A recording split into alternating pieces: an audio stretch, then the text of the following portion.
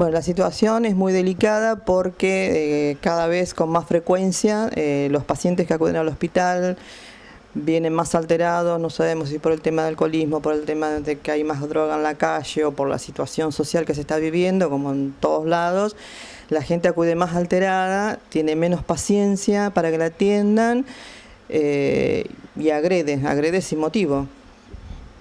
Eh, ¿Cuáles son las áreas más complejas o donde se han registrado mayores situaciones de violencia?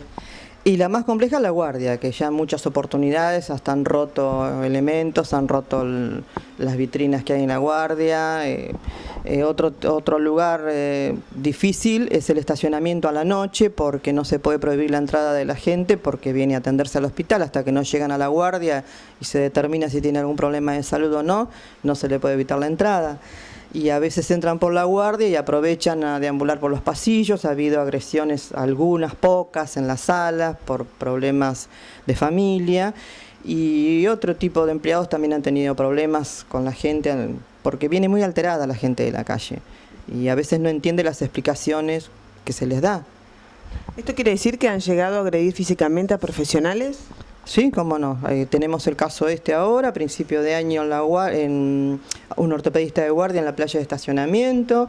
En el pasillo ha habido agresiones. Sin ir más lejos, el lunes yo tuve un altercado con una familia con tres chiquitos porque no entendía qué era lo que me estaban preguntando, porque no sabía explicar y se pensó que yo no quería darle explicaciones y y me agredieron de palabra y bueno, yo me callé porque si hubiera contestado me hubiera pasado más o menos algo similar. Doctor, cuéntenos qué pasó, un episodio realmente lamentable.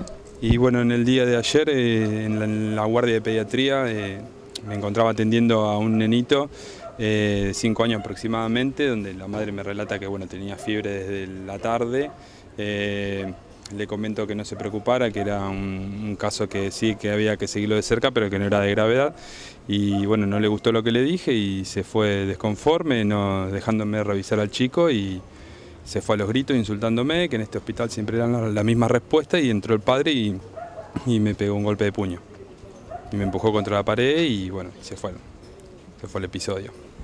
¿Dónde le pegó, doctor? Me pegó en el pecho, me tira contra la pared, me vuelve a agarrar del ambo y me vuelve a tirar contra la pared. Obviamente que estos son hechos preocupantes porque ustedes están trabajando y bueno, la desesperación de los padres eh, es, una cosa común, ¿no? Eh, es una cosa común, sí, ver padres asustados y preocupados, pero eh, también es cotidiano la violencia verbal.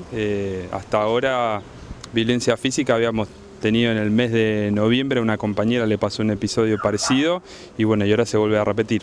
¿En ese momento salieron a ayudarlo los otros médicos? ¿Qué pasó con la seguridad del hospital? Y cuando sí, en ese momento escuchan que eh, había gritos y se, acercan, salen otros médicos al pasillo y, bueno, esta persona se va del hospital. ¿Hoy se viene a trabajar con miedo? Eh, no, con miedo no, pero sí preocupado, preocupado por la situación y, esperando una respuesta del hospital para ver cómo resolvemos esto, de la seguridad del hospital.